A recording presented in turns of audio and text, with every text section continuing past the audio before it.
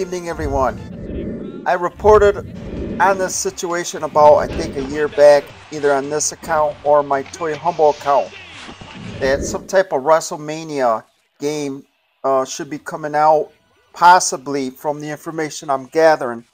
Now, usually four things could happen. Either things changed, maybe they decided to come out with NFL Blitz instead, they decided to postpone it for whatever reason licensing issues, and there's one more I just uh, thought of. Possibly because they do not want a WrestleMania arcade cabinet with one game on it. The other day I got some information here. Now remember, they don't give me the details, so I got to play detective. It looks like they're coming out with some type of Midway Sports uh, arcade cabinet. Uh, looks like more of a head-to-head cabinet or a cocktail cabinet, I should say, possibly an arcade cabinet later on.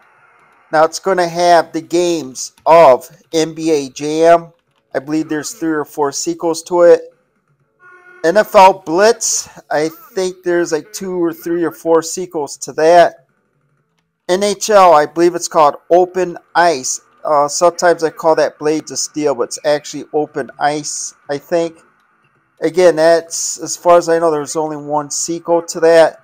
They're not going to uh, build one arcade cabinet with one game, and of course the WrestleMania game. So it should be about nine games, eight, possibly, unless if I'm missing any. So I do not know where this is at in the process right now. I don't know if it's in production I don't know if they're brainstorming this or what. Um, I got some information about it the other day. So this is what I'm coming up with so far.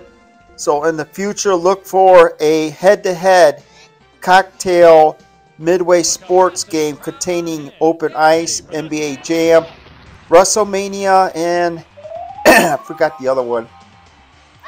Or and look for a arcade midway sports with those games. So that's all the news I got so far. If there's anything breaking, uh, I'll let you know.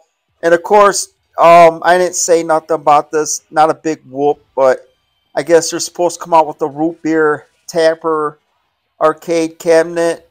Um, of course, that's nothing new because they've been coming out with Joust, Dig Dug, and all that. So that's nothing major.